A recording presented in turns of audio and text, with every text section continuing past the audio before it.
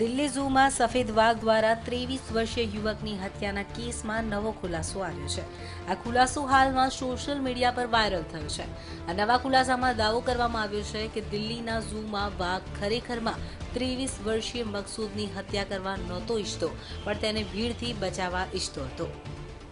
આખી દલીલનો પક્ષ આપતા ફોરેન્સિક રિપોર્ટમાં જણાવવામાં આવ્યું હતું કે દિલ્હીના ઝૂમાં વાઘના ગળા સિવાય ક્યાંય તેના હુમલાના નિશાન નથી.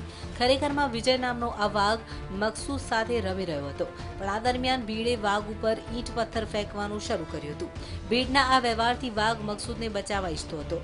તેથી તે તેને ગરદનથી પકડીને એક એકાંત જગ્યા પર લઈ ગયો હતો.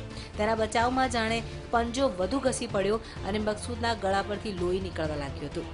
મકસૂદના શરીરમાંથી વધુ લોહી વહી જવાને કારણે તેનું મોત થઈ ગયું હતું. જોકે આ મામલે રિપોર્ટમાં એવું પણ છે કે વાઘ મકસૂદ સાથે રમી રહ્યો હતો. તે તેને મારવા નહોતો ઈચ્છતો, પણ લોકોના પથ્થર મારવાના કારણે તે મકસૂદને બચાવી એકાંત જગ્યાએ લઈ ગયો હતો. Bureau report, news online.